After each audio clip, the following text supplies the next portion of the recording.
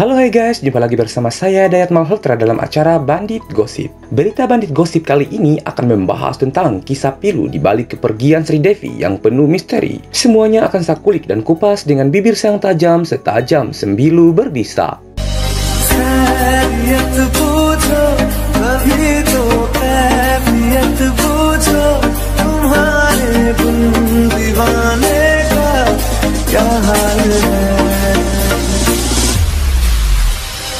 Kepergian aktris Bollywood legendaris Sri Devi telah meninggalkan duka yang sangat mendalam. Tak hanya bagi keluarga, tetapi juga para fansnya di seluruh dunia. Pada tanggal 24 Februari 2018, Sri Devi meninggoy secara tragis di usia 54 tahun karena tidak sengaja tenggelam di bak mandi kamar hotel Jumeirah Emirates Towers, Dubai, Arab. Tidak ada laporan resmi, laporan investigasi resmi, laporan otopsi ataupun laporan toksikologi yang menjelaskan tentang bagaimana Sri Devi meninggoy. Penyebab pasti kepergiannya belum terungkap, hingga berbagai teori, dugaan, dan spekulasi pun muncul seiring dengan kepergiannya yang mendadak.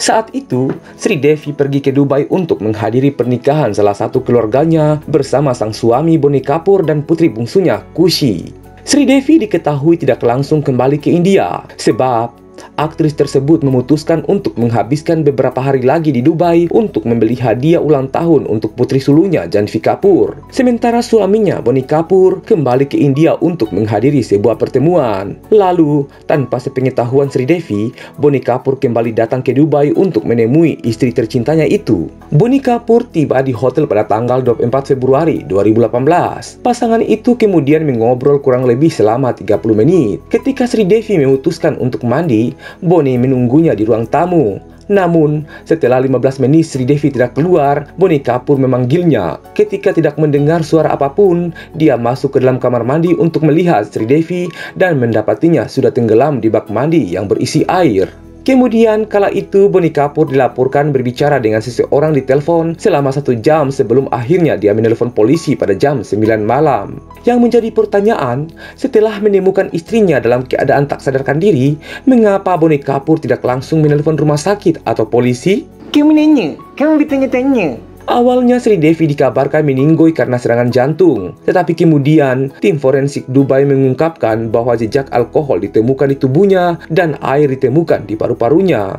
Diduga, alkohol inilah yang membuat Sri Devi tak sadar dan kemudian tenggelam di dalam bak mandi. Namun, menurut teman dekatnya, Sri Devi tidak pernah minum banyak alkohol. Sebagian besar orang menduga bahwa Sri Devi meninggoy karena bunuh diri. Ia diduga mengkonsumsi alkohol dan obat-obatan karena depresi akibat tekanan dari industri Bollywood. Hingga akhirnya ia sengaja menenggelamkan dirinya di bak mandi. Namun, kabar ini langsung dibantah oleh kerabat dan keluarganya. Tidak lama setelah itu, seorang ahli forensik mengatakan bahwa semabuk apa pun seseorang tidak mungkin meninggoy karena tenggelam dalam air sedalam satu kaki, kecuali jika ada seseorang yang sengaja memegang kepala dan kakinya di bawah air.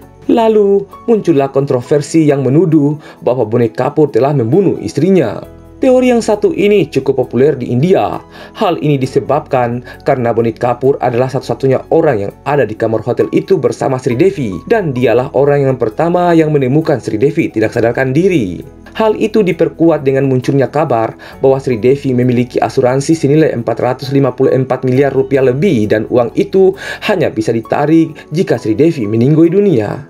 Sri Devi memulai karirnya sejak tahun 1967 pada usia 4 tahun dengan membintangi film berjudul Kandam Karunai.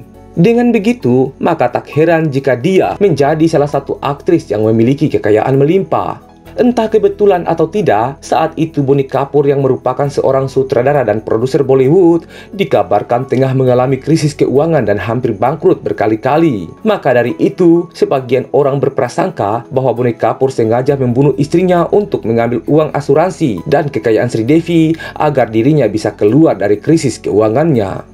Namun, semua itu tidak bisa dikatakan sepenuhnya benar karena kurangnya bukti yang kuat. Hingga sekarang, kepergian Sri Devi masih menjadi misteri yang kebenarannya tidak diketahui. Menurut kalian, apakah kepergian Sri Devi murni kecelakaan? Atau adakah penyebab lain yang kalian percaya? Cus, banjiri kolom komentar dengan pendapat kalian. Demikianlah kabar kita kali ini. Saya Bandit Gosip, undur diri di hadapan Anda.